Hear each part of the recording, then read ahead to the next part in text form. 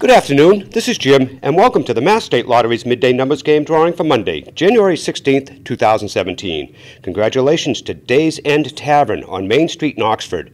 They sold a $100,000 winning ticket in last night's Mass Cash game. And join us tonight for the evening numbers game, Mass Cash and Lucky for Life drawings. Now let's check out today's winning numbers. 0039. Once again, the winning midday numbers for Monday, January 16th are 0039.